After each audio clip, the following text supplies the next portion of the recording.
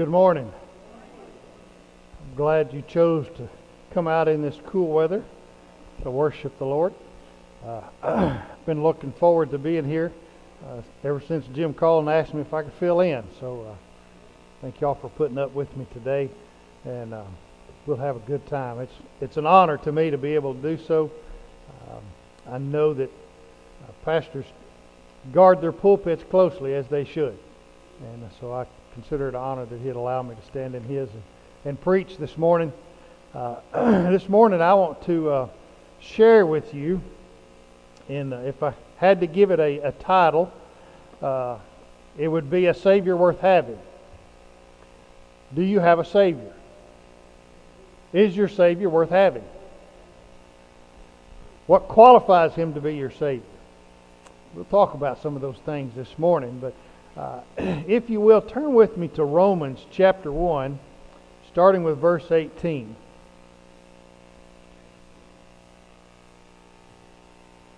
In the first service, I kind of had to make myself be on a leash with a little help from the back because I had to make sure everybody's out in time to go to Sunday school. But see, y'all are in trouble. I can just let it off the chain now and do it. Anyway, Romans chapter 1, starting with verse 18. Uh, I'll invite you, if you're willing and, and desire to, stand in the honor of the reading of God's Word, and then we'll move forward. How many of you'd rather be in the hospital? All right, just checking. Verse 18 says, For God's wrath is revealed from heaven against all godlessness and unrighteousness of people who by their unrighteousness suppress the truth, since what can be known about God is evident among them because God has shown it to them. For his invisible attributes, that is, his eternal power and divine nature, have been clearly seen since the creation of the world, being understood through what he has made. As a result, people are without excuse. For though they knew God, they did not glorify Him as God or show gratitude. Instead, their thinking became worthless. Their senseless hearts were darkened. Claiming to be wise, they became fools and exchanged the glory of immortal God for images resembling mortal man, birds, four footed animals, and reptiles. Therefore, God delivered them over in their desire of their hearts to sexual impurity so that their bodies were degraded among themselves. They exchanged the truth of God for a lie and worshiped and served what has been created instead of the Creator, who is praised forever. Amen. Heavenly Father, bless the reading of your word. In Jesus' name, amen. Thank you. you may be seated. You know, despite what our society, our world, uh, would like people to believe about God. Human history began with knowing God first. The Big Bang, uh, or evolution, or whatever you want to label it, man didn't evolve from nothing and then create a God to worship and call him creator. It's the very opposite. God created man. He created Adam and Eve. He created everything we know. The planet he talks about here, uh, just his creation makes it evident of who God is. But he created those things and he put Adam and Eve in that garden. And he did what? He worshiped, he fellowshiped with them, did he not? He walked with them, he talked with them, he fellowshiped with them. He was their God. They were created by God in his image to live eternally in fellowship with him. However, man, he gave man a choice, did he not? He, we still have a choice on whether we choose God or not. He gave man a choice, and he had told Adam and Eve, do not eat from that tree. You remember? Don't eat from the tree. so they had the option of just being obedient and worshiping God. But do you recall what took place? They stood under that tree, and Satan spoke to them and said, What surely God's not going to kill you if you eat from this tree. If you, because he know if you if you eat from this tree, then you'll be like God yourself. Adam and Eve, and I'm not blaming Eve because Adam was right there. They eat from that tree, and in doing so, their choice was what? Not only sin, but they chose to worship themselves first. Self. Self became first. So when you think about that, they, they traded in the Creator for the created that we see right here in Romans. They, they chose not to continue to worship the Creator, they chose to worship themselves and become gods themselves in their own minds. Are they not? Did, that, did Adam and Eve suddenly become eternal? Did they become divine? Did they live forever? Are they still here? No, they're gone, they're dead, they're in the grave, right? Why? Because they're human. They were created beings by a creator. And their, the punishment, if you will, the consequences of their choices was death. A consequence that continues today for you and I.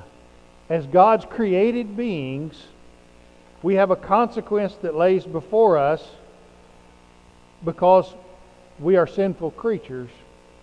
Without Christ, we're headed to hell, right? According to the Word. John 3, 16, 17, 18.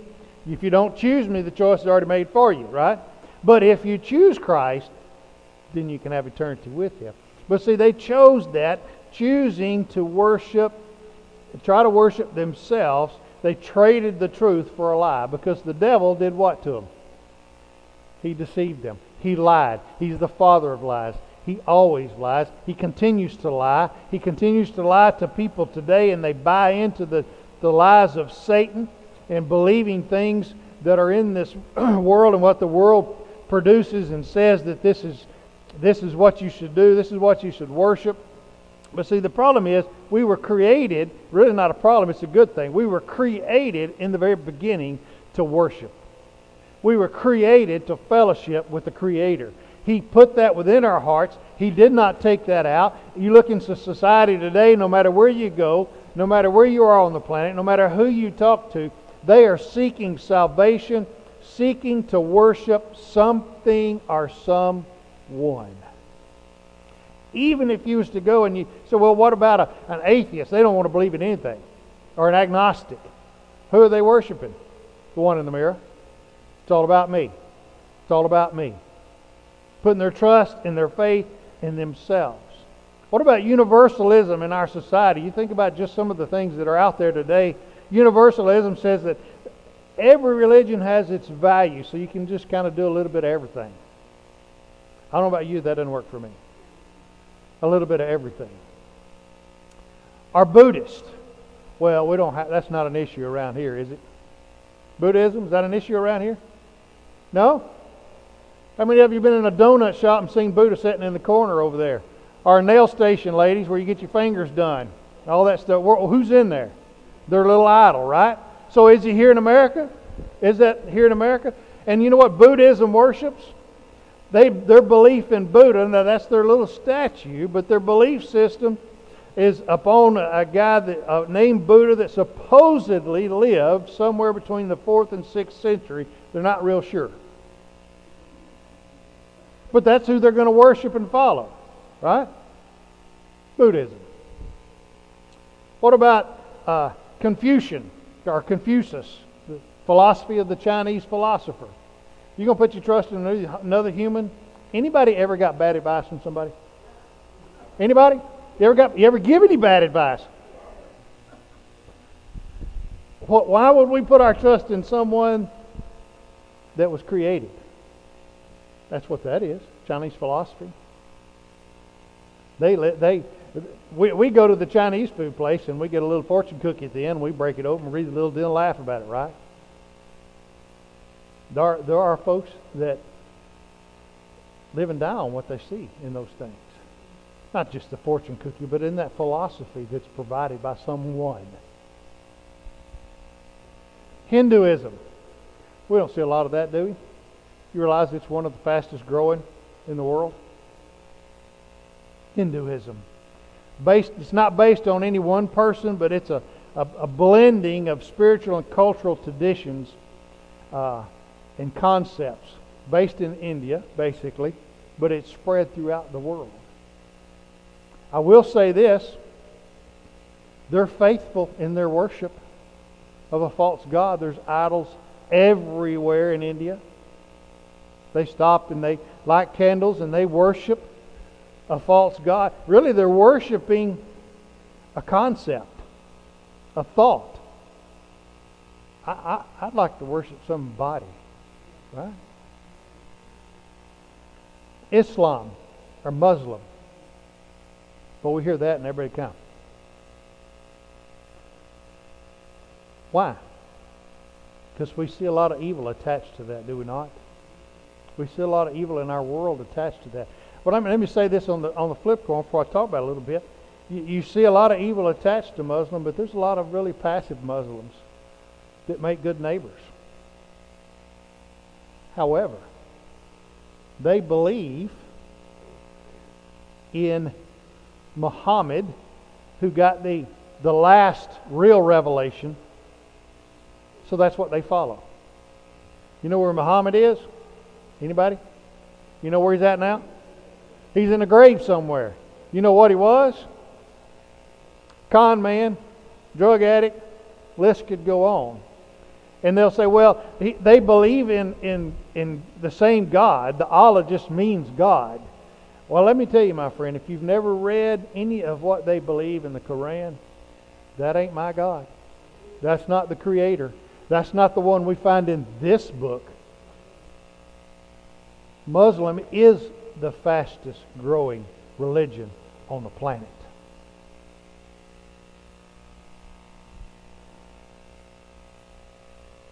There are countless tribal beliefs spread all over the world. You know, we live in a, a modern society here in the Western world. But there are places in this world that are secluded unto themselves and don't see outsiders, don't welcome outsiders, do not allow outsiders to come in. And they have their own belief system, whatever they've developed in their mind to worship whether it be a sun, a tree, a cow, a goat, or whatever. A lot of that is there. That's why that Christmas Child program is really neat. It reaches some of those places. But that's a short plug for me. Witchcraft or voodoo. Just I'm just throwing a few things out there. Witchcraft or voodoo. That's not just something in the movies, my friend. It's for real. And it's here in America. It's all over the world. And that's, that's Satan with a disguise. A lot of popularity. If, you, if you're not careful, you don't pay attention, it's filtered into a lot of TV to include cartoons, mystical stuff. What do you think that is? Magical stuff. What is all that? That's not from the Word. Word tells us watch out for that. Satanism. Do I, I don't even go there. Do I need to talk about that one? Greek mythology, a myth. All it is. Mormonism, the teachings of Joseph Smith is another group that's decided that Joseph Smith received a uh, final revelation and wrote his own little book that goes to a, an addition to the Bible. But they don't read the Bible, they just read that part. And they follow him. I'm not sure about you, but the end of my Bible says don't add to or don't take away. So they're following this man, Joseph Smith, who, by the way, is in the grave. They're following those things. Last but not least, we think about, and there, the list, we could stand here for hours and talk about all the different crazy beliefs in the world today. But the last one I want to throw in front of you is probably the most applicable in a church, Christian church. And that's the worship of self. Well, I, am immune from that. I'm, I'm not going to worship myself. Adam and Eve were built, were created perfect, right? Did they mess it up? We're in trouble, aren't we? Self. Self, trusting in our own self is probably more common than we will admit. the illusion that we're in control of our life. How many of you like to be in control? Well, there's a third of you telling the truth. We like to be in control, or at least we like to think we can control what's happening in our life. And unfortunately, when you think about the worship of self, because when you worship, you're, whatever you put first and foremost in your life, whatever you spend the most time, money, and effort, that's what you're worshiping. Whether it's baseball or whether it's tied to the back of your truck, guys, headed to the lake on Sunday morning or to the deer stand on Sunday morning, or it's in your purse, ladies, that credit card you're headed to the store to go shopping, or whatever that is. Uh, the list could go on, and it doesn't matter. It's not what it is because there's nothing wrong with baseball, fishing, hunting, uh, shop, shopping. There's nothing wrong with those things, but it's what place it has in our life. When we allow it to be first in our life before God, it has become our own idol. Well, I don't worship idols, preacher. Well, evaluate and see what you're giving the most of your time and effort to. Because if it's not God, then whatever it is, is stepped in front of Him. What are you worshiping? People around the globe, whether they realize it or not, they're seeking salvation to worship someone or something, an object, if you will. Case in point, Acts. You remembered Paul. He goes into the city of Athens and he's, he's walking around the city and he's, he's preaching and teaching. And he begins to observe what's taking place. And he sees all these different idols all over. And then there's this one idol that says to the unknown God. So they're just worshiping everything and hoping they get the right thing, right?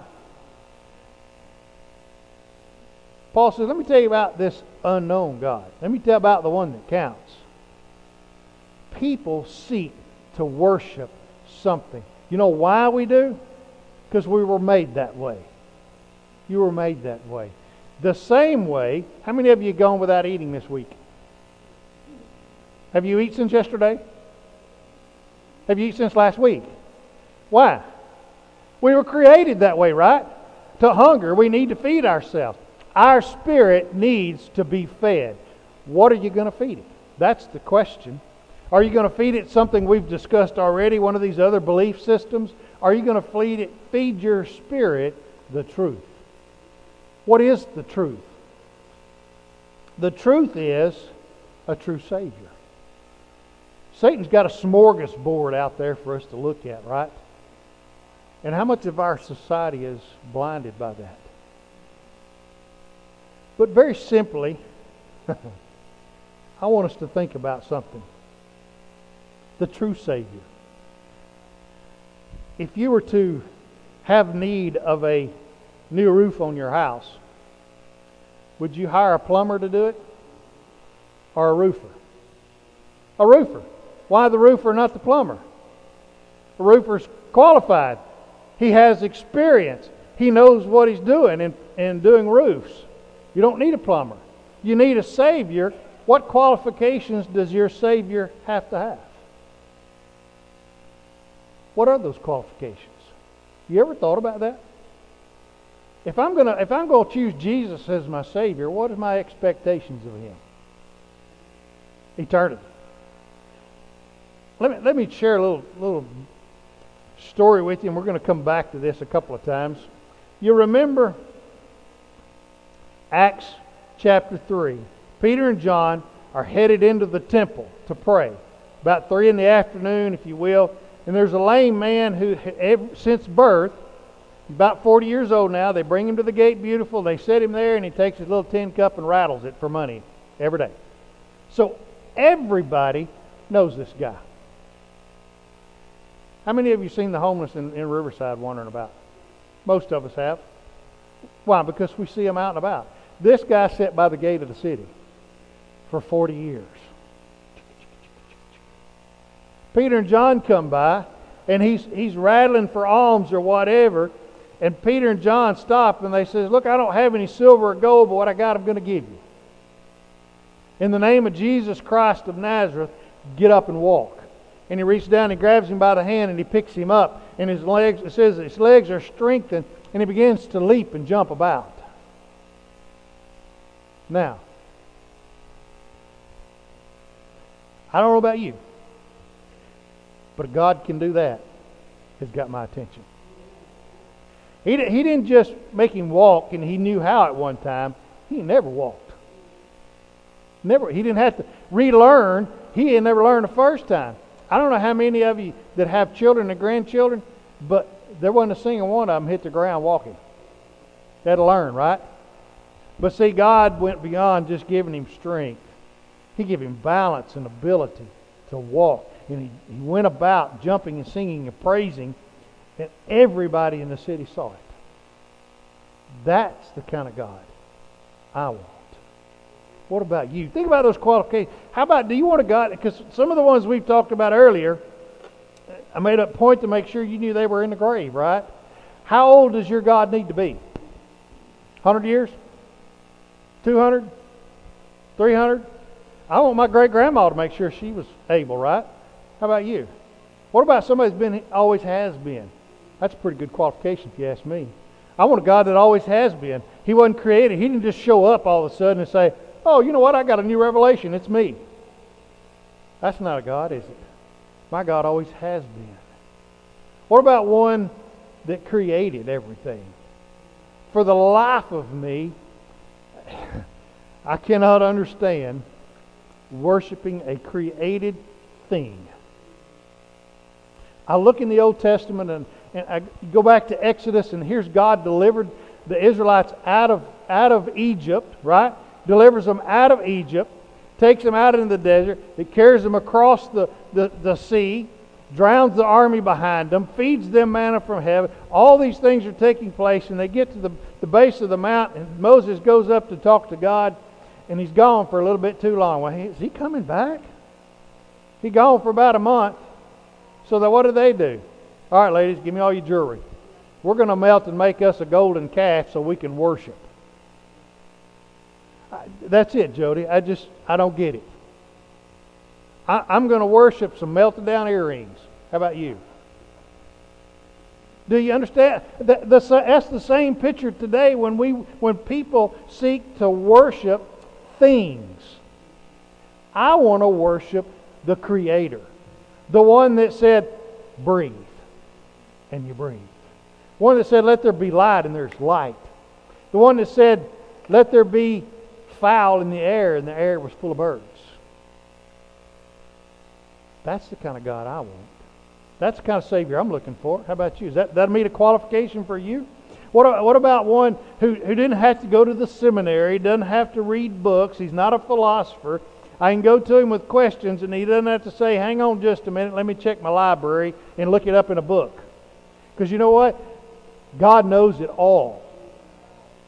He don't have to research the answer because he knows. Not only does he know what you need to know, he knows tomorrow. He knows the day after tomorrow. He knows the very day that you'll come see him. I love Psalms 139. You never read it? You need to.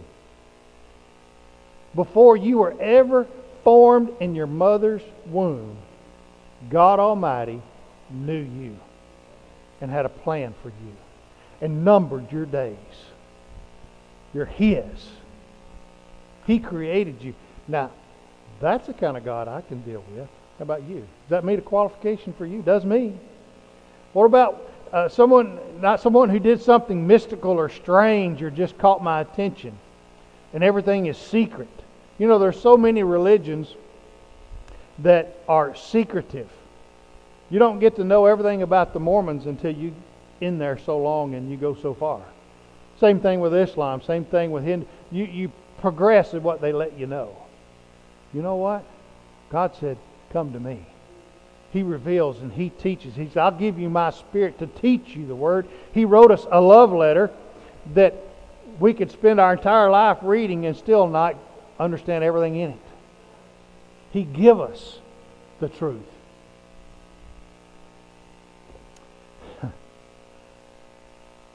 I need a Savior that's everlasting.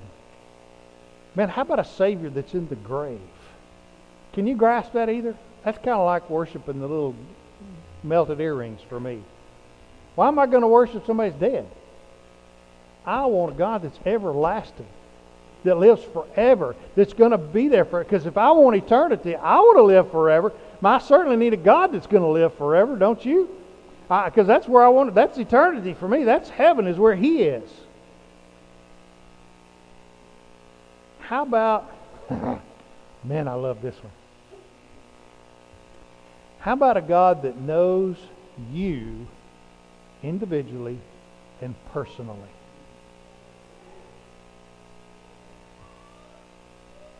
You know, the preacher might forget your name. If you're this one, you will. Jim probably really good at it, but I'm not. People will forget your names. God knows how many hairs are on your head. He knows when your heart hurts. He knows when you're sad, when you're glad, when you're confused. He knows everything about you individually. And my word says that when I step from this place to the next, if I know Him as my Savior, He says, if I go away to prepare a place for you, I'm coming back to get you. Because, see, when I die, you know the first face I'm going to see? My Savior. Jesus. He said, I'm coming back to get you. That's the kind of Savior I like. A personal one, right? What about a Savior that's impartial? You know, maybe I'm not committed enough for God to love me. Think about some of the other religions we talked about.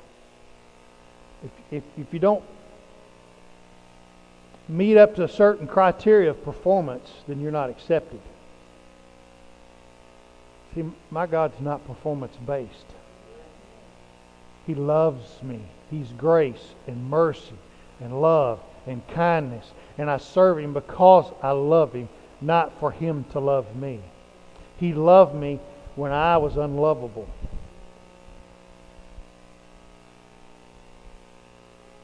He doesn't show partiality. I don't have to have a certain amount of money. I don't have to be perfectly physically healthy.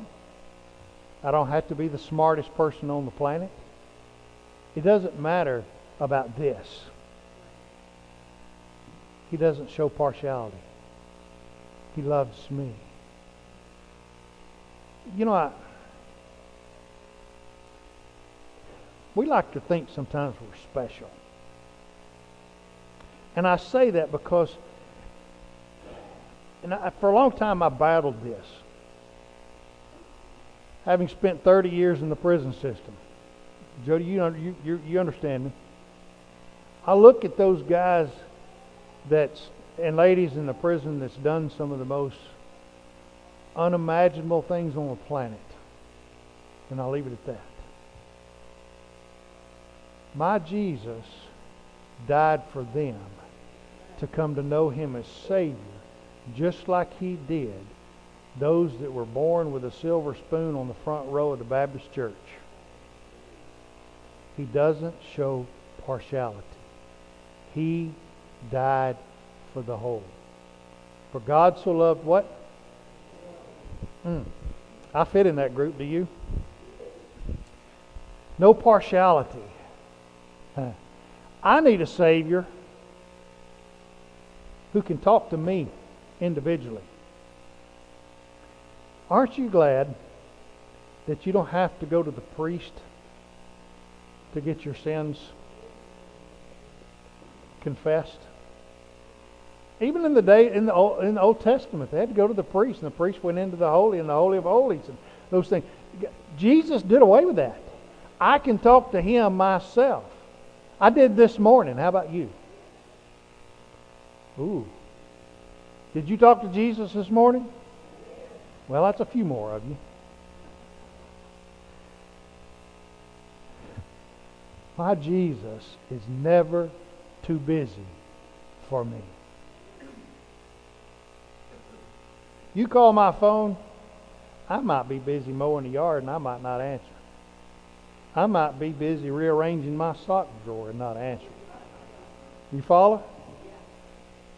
But I call Jesus, I call on His name every time. He's right there. That's the kind of God I need. That's the Savior I'm looking for. I'm looking for one who's omnipresent that can be at my house and he can be at Ruby's house and Jody's house and Petey's house. He can be everywhere. He can be at my friend Peter's house in Uganda this morning, the same time he's here with us, no matter where we're at. Time and space does not contain the God I serve. That's the kind of God I need. The one that no matter where I go, I don't have to send him a message and like I do the bank when I travel. I don't have to hate, you know, I'm going to be out of country. I'm going to be over here. So can I spend my money when I get there? I don't have to do that. I, God knows where I'm at because He goes with me. That's the kind of God we need one that is omnipresent, that is everywhere, all the time, every present, all knowing, unchanging, eternal, sovereign, infinite, self sufficient. Man, I'm glad my God doesn't have to go for help. He don't have to go get help. He's all that we need. He's it. He's all that we need. He's perfect. He's personal. He's holy, righteous. Is that a pretty good track record? Just a few things? Would that meet your qualifications if you're looking for a Savior? Would that fit the bill for you? It does for me. Uh, and we can move a step further. What about lives that have been changed? Anybody in here had their life changed when they met Jesus? Anybody have a story to tell of what Jesus did in their life? Jim shared a good one this morning. That's, that's one of deliverance. He's got a story to tell. If you know Jesus as your Savior, you got a story to tell. That's a witness as to who He is. Hmm. Any, anybody ever had Jesus wipe the tears from your eyes in moments of grief and sadness? And brought joy in times that didn't make sense to be joyful. That's the kind of Jesus we need to look for. That's some qualifications that meet, if you will. What about just we look in we can look in Scripture at a few things. Has our as Jesus as a Savior been successful? Well, first of all, He created everything. We see He changed water to wine. He walked on water. He commanded the seas. He uh, healed the sick. He, he raised people from the dead. Man, I love that. Hey, Lazarus, come here. Here he comes. Good thing he called by name. There might have been a crowd.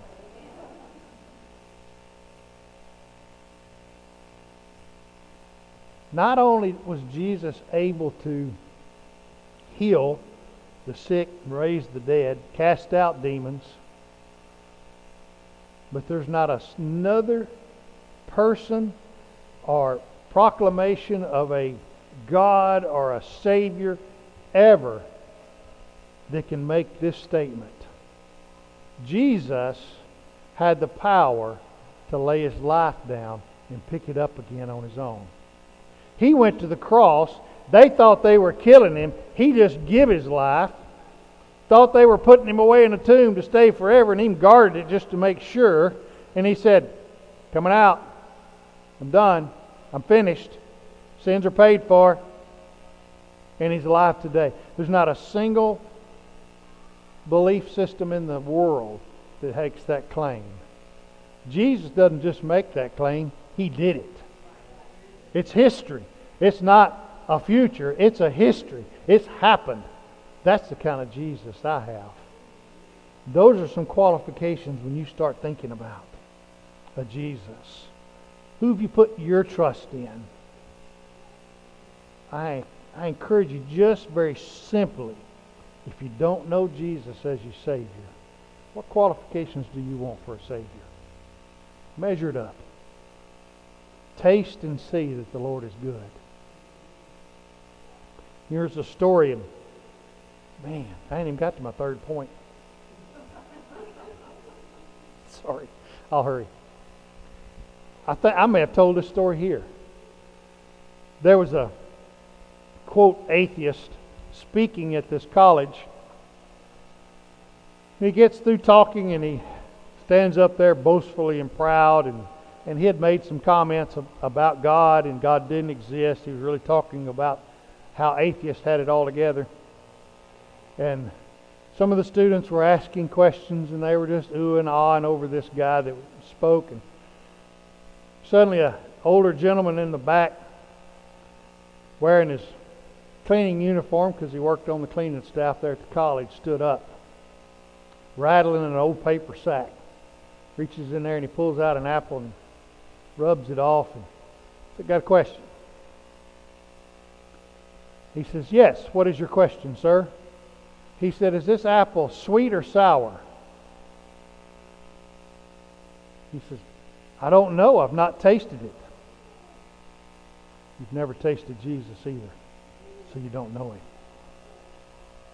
Do you know Jesus? Now, last thing I want to share with you, and I'll do it quickly. Anybody hungry?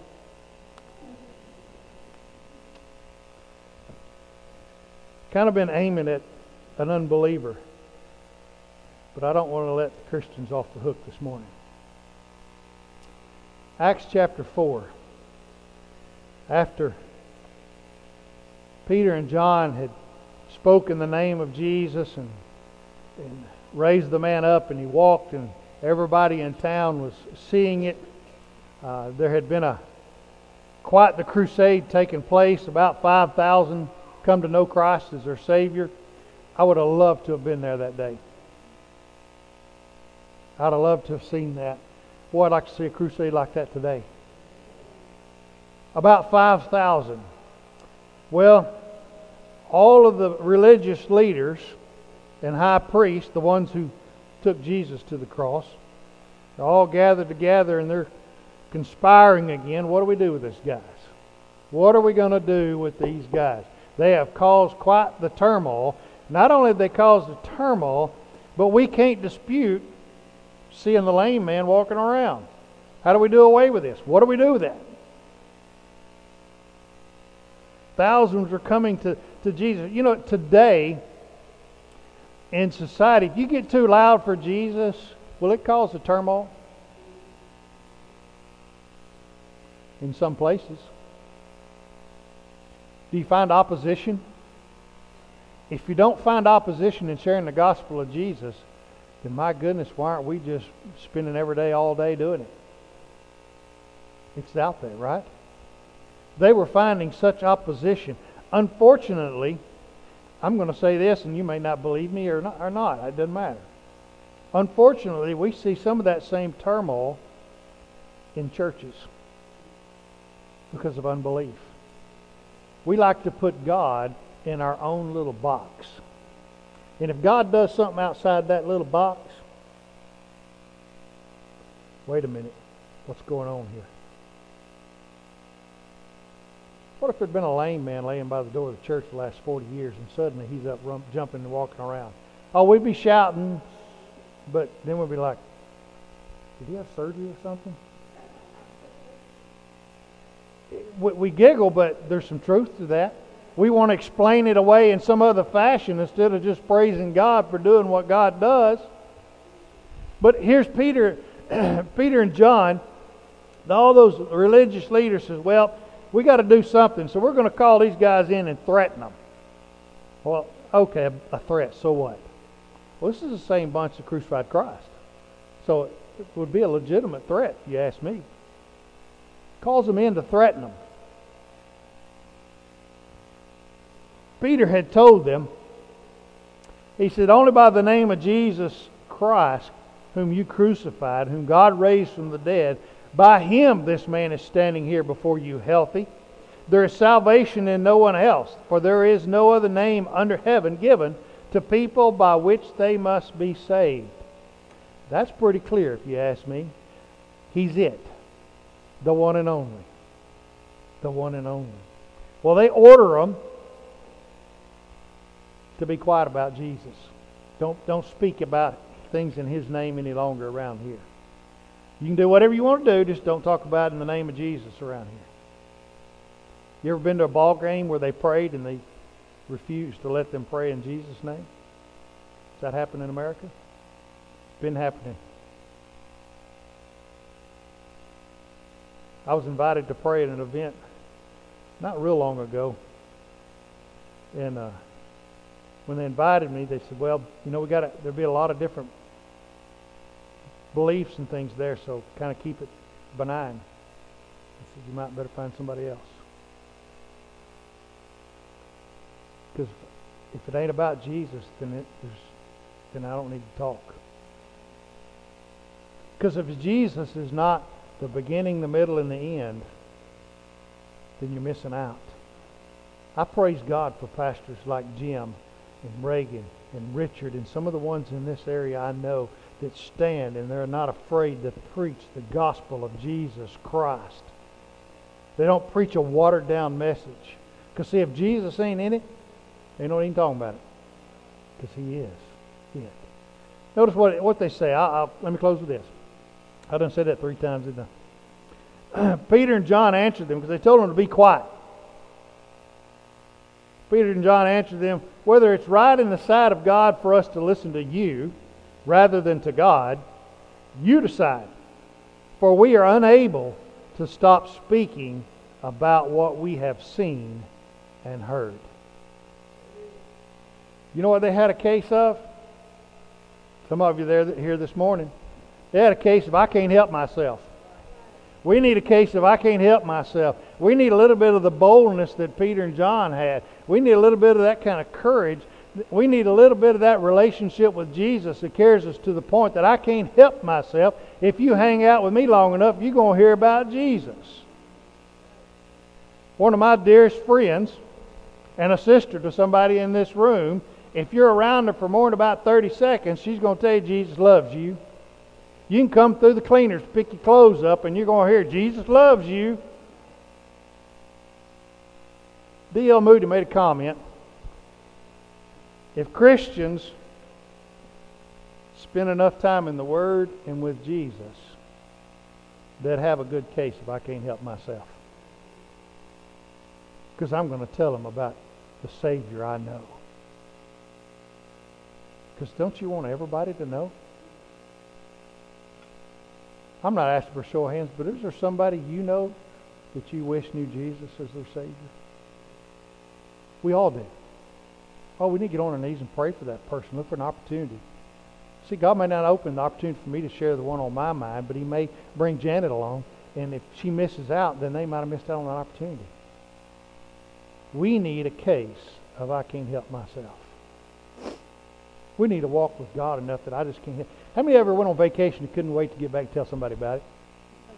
Or you remember when you were a child and, and after Christmas break was over and you get back to school, what's the first thing as kids you talked about after Christmas?